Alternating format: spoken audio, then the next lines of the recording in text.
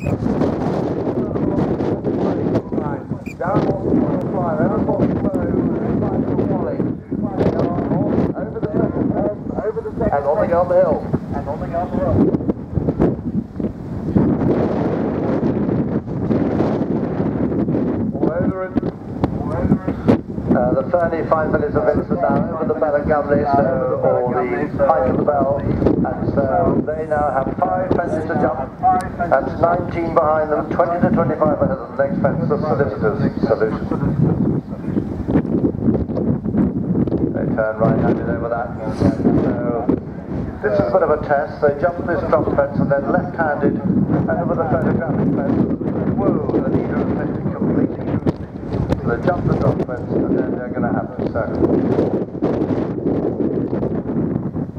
Meanwhile, it looks to me as if Scott Gray has come down the hill at some pace, but he forgot about the REM furniture flyer on the way around the corner.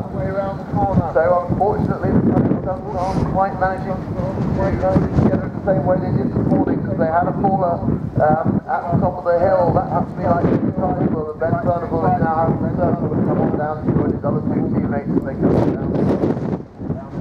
A little bit of disarray for the 35 minutes of uh, because uh, the last member of the team is having to do a bit of circling to approach the John Dillon fence. Does that okay? That's around, so just two more fences to jump for the final member of the 35 they complete the course.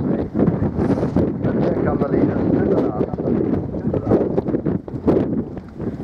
Vincent Keith, the third runner, to complete the course.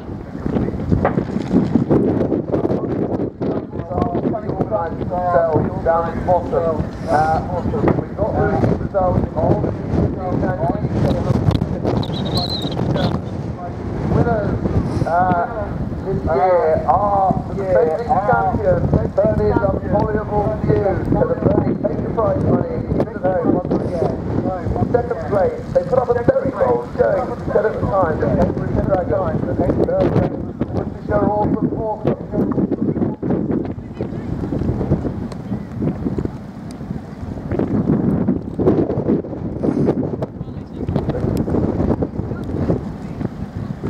So we have Team 26 underway now, the Loose Cannons.